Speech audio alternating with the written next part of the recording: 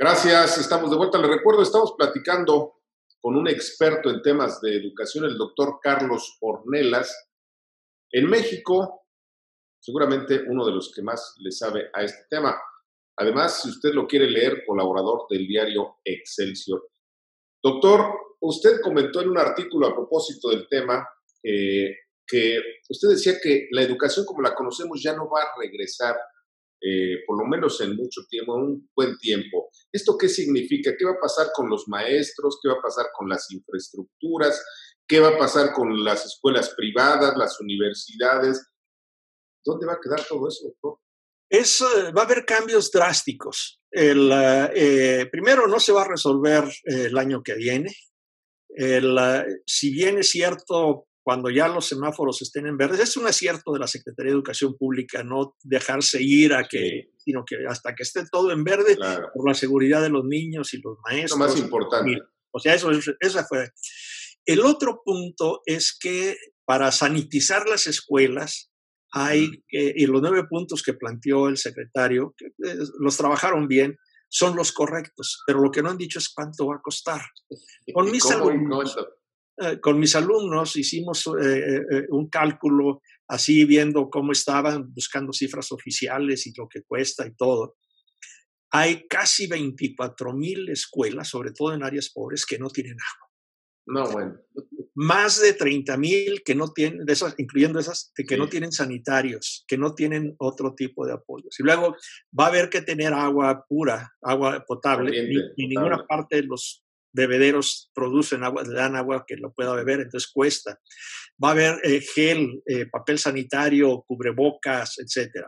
Y luego acondicionar, eso cuesta mucho, acondicionar los salones de clase, porque creo que eh, esta idea que planteó, así dijo, bueno, vamos a estudiarlo y lo están estudiando, me, creo que tengo eh, que no va a ser de regreso como era, sino que una semana van a ir lunes, miércoles y viernes la mitad de un grupo, martes y jueves la otra mitad, y la semana siguiente los otros, y los maestros van a estar también así Luego, eso es, todo eso, eh, según mis estudiantes y yo, costaría en un año alrededor de 60 mil millones de pesos. Oh cuando la autoridad republicana le está quitando dinero. Ya se acabaron las escuelas de tiempo completo. Para este semestre, eh, que, sí, que el primer semestre escolar de este año, las escuelas de tiempo completo van a tener 54 pesos diarios para el tiempo extra del director y los maestros.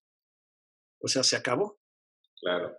Entonces, eso no lo, no lo mencionan eh, porque pues de dónde sale el dinero. Entonces van a querer transferirlo a los estados, pero los estados están en penurias financieras peor que el gobierno central. Entonces ese es el, punto. El otro, los maestros. Claro. las dos corrientes grandes, de las dos facciones grandes del sindicato, la, que comanda Cepeda Salas y la coordinadora, están muy atentos a la cuestión de la salud magisterial. La CENTE ya anunció que más de 200 de sus miembros han, muerto por el COVID. Eh, hay un estudio que hizo la CENTE y otro que hizo el CENTE, donde un buen número de maestros, casi 300 mil en total, eh, padecen de eh, obesidad, hipertensión, diabetes, que son de alto riesgo. lo más seguro es que empezando en la, semana última de vacaciones van a llover solicitudes de jubilación al ISTE por eh, eh, antigüedad y lo que sea. Entonces eso van a ¿Con quién se van a sustituir? ¿De dónde va a salir el dinero para pagar interinos? Aparte de, las pensiones que... Entonces es otro problema que al final de cuentas tenemos un problema, un, hueco financiero terrible en el sistema educativo mexicano que se ha agravado mucho en este gobierno. Nunca ha sido bollante, pero en este gobierno vamos para, abajo. Entonces esa es la otra cosa. Y eh, la coordinadora se opone, eh, eh, eso sí, como organización militante, a el programa Aprende en, Casa 2. Porque queremos enseñar con nuestros materiales, las televisoras son los monopolios, se está favoreciendo otra vez a Televisa y todo, cuando, según el, presidente López Obrador, va, a costar 450 millones de pesos que, se le, que le paga la CEPA a, las a las, televisoras. Si lo vemos en, términos de costos, pues no es tan caro, sería alrededor de 15 pesos por alumno. Ahora, en educación superior, preguntó eh, Ricardo, ahí la situación es diferente. Ahí tenemos más experiencia, desde, también desde hace muchos años, y se, se está aprendiendo, y quienes no tenían están aprendiendo muy rápido. Eh, en la Universidad Autónoma de Tamaulipas, por ejemplo, entre el sector público, el Tecnológico de Monterrey en el sector privado, desde hace años tienen programas a distancia sólidos, bien experimentados, capacitan a sus maestros, saben qué dos cosas.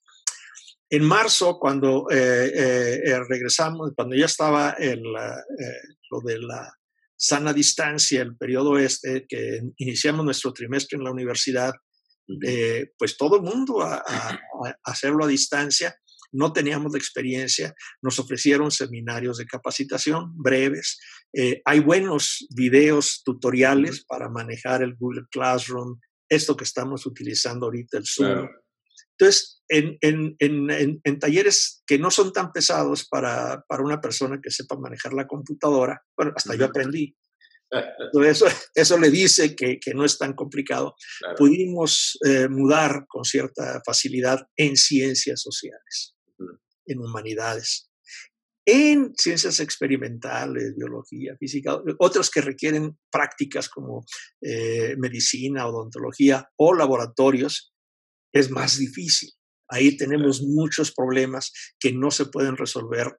El, trimestre anterior se resolvió compactando las partes porque mis colegas de biológicas que tienen medicina y farmacobiología y otras y que necesitan, eh, compactaron tenemos el sistema modular, es muy, muy flexible, compactaron la parte teórica para este trimestre pasado y el, que, y, y, el, presente.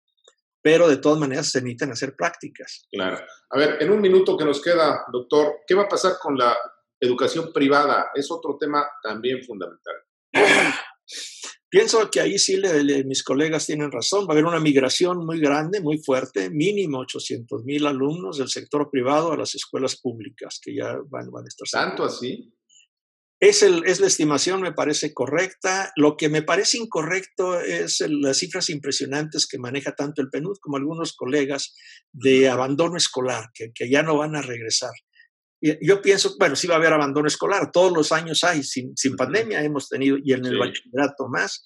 Entonces yo creo que no va a variar mucho a lo que es la tendencia histórica. Yo, yo, yo no coincido con que los jóvenes de bachillerato se van a ir a buscar trabajo.